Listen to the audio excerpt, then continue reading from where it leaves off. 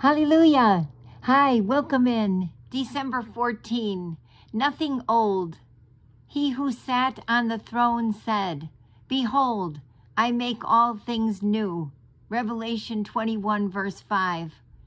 All things need making new, for they are sadly battered and worn by sin. But no one can make all things new except God, who made them at the first. Our Lord Jesus has undertaken the task, and he is fully competent for the performance of it. Already he has commenced his labor, and for centuries he has persevered in making new the hearts of men.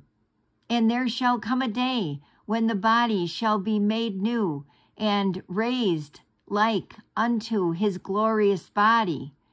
What a joy to belong to a kingdom where everything is being made new. We are not dying out. We are hastening on to a more glorious life.